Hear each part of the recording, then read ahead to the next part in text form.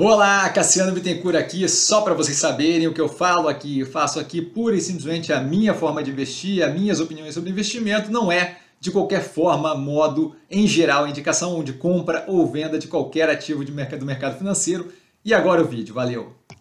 Olá, Cassiano Bittencourt, pelo Visão do Estrategista, neste momento para analisar pela primeira vez a Vivo, a Telefônica Brasil, tá? a operação mais concentrada ali em telefonia móvel, onde ela é líder no setor, tá? a gente vai abrir um pouquinho mais daqui a pouco, com participação relevante em fibra para a internet, tá? que é um setor aí que tem é bem pulverizado aqui no Brasil. Tá? A gente tem inclusive abertura de capital de outras operações que fazem só isso, fibra, é, então BrisaNet, Desktop, aquela Unifique e por aí vai.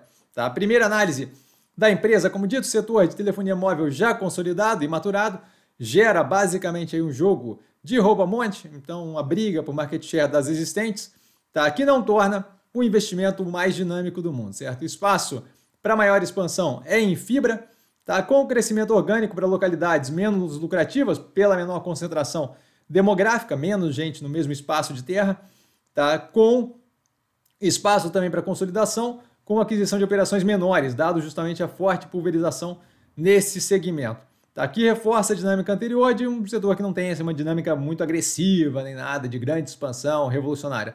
Tá? Que acaba se refletindo no preço que a gente vê na tela, com oscilação de menor abrangência tá? e sem muito espaço para grandes movimentos, como a gente vê justamente pela evolução anual, que é o que a gente tem expresso aí na tela. Tá? A gente inicia diretamente com o due diligence, que mostra uma operação que opera, que roda super bem, Tá? Receita líquida com crescimento de 7,6% year on year versus o mesmo período no passado. O EBITDA com crescimento de 11,1% versus o mesmo período no passado.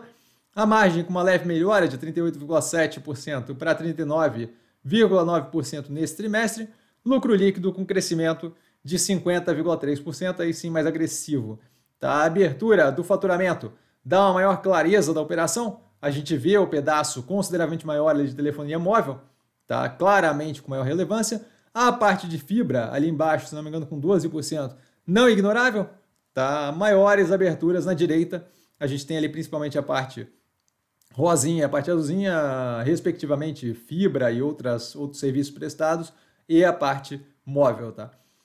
Sendo a primeira análise aqui, tá? a maior abertura das áreas é, mais relevantes é algo que a gente vai fazer. Tá? A gente não vai continuar fazendo isso nas próximas, se não tiver alguma coisa muito importante a gente vê ali justamente na abertura de telefonia móvel a market share batendo 39%, tá? Então, um market share agressivo aí, basicamente dois quintos do mercado, tá? Um pouco mais sobre a participação na fibra na sequência, para o pause, pura e simplesmente informação é para quem quiser um pouquinho mais de aprofundamento.